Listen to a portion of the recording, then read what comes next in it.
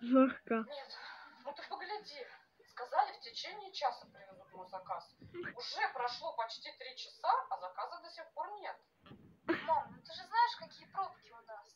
Ну а зачем говорить в течение часа? Ох уж этот курьер, надо на него пожаловаться.